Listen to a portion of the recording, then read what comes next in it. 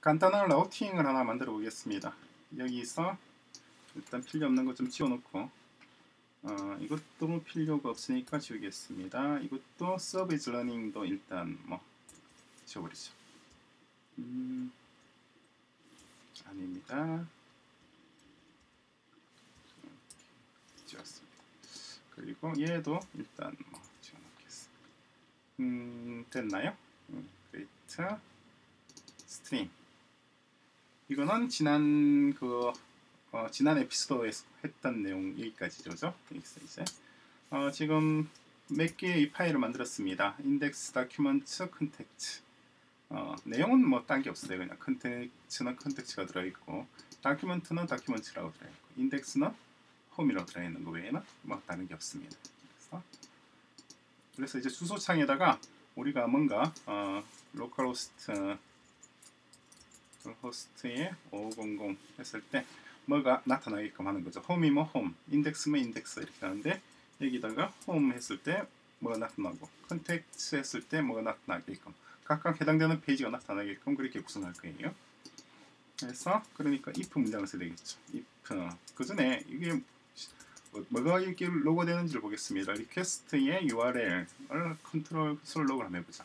그러니까 페이지 새로 고침할 때마다 이 서버 요게 호출되어서 어, 여기 있는 것이 호출되어서 뭔가가 우리에게 보여주게 될 겁니다. 그죠? request가 전달될 테니까죠.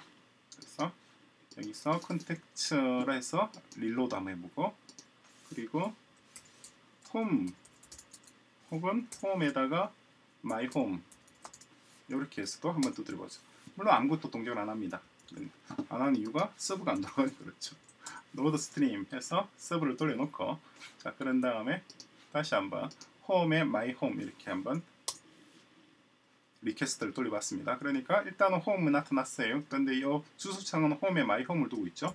그러면은 이 부분 console log 되고 있는 부분 요거 console log 한 것이 이렇게 나타나고 있습니다.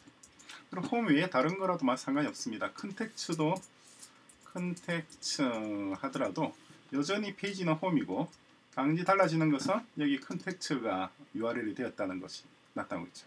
그러니까 request URL 정보를 우리가 획득한다는 것은 쉽게 알 수가 있죠. 그래서 이것을 이용을 해서 routing을 구성을 할 수가 있습니다. 어떻게 하느냐니까 if 문장을 쓰면 되겠죠. if 문장 if 요거 요겁니다. 요게 만약에 어, 홈이거나 홈이거나 또는 or 요것이 request URL이 어, 아무것도 없이 그냥 요 대시만 있을 경우 요때는 요걸 보여주란 말입니다. 그죠? 요걸 위로 올려보내겠습니다. 그리고 이걸 조금 복사를 해서 그냥 그대로 쓰면 되겠죠? 두 개, 세 개 해서 else입니다. else 여기도 else 이번에는 홈이 아니고 contact document로 할까요? document 맨처음에는 요것은 document가 와야 됩니다. 다큐멘트 HTML 그리고 얘는 컨텍츠가 오면 얘는 컨텍츠 HTML 이렇게 해도 되겠죠? 이렇게 하거나 아니면은 그냥 else 그 외의 경우는 몽땅 다 얘기로 오게끔 해버리면 또 되겠죠. 그럼 간단하게 더욱더 간단하겠네.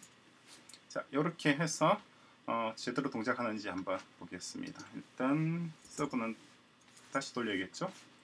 다시 돌려서 처음에 자, 아무것도 없는 상태 하면 홈이 왔고 두 번째 docum- document 하면은 document 왔고 다음에 그 밖에 contacts 하면은 contacts가 오고 그 밖에 이상한 주소를 우리가 홈에다가 홈에다 contacts라고 하게 되면은 뭐가 올까요?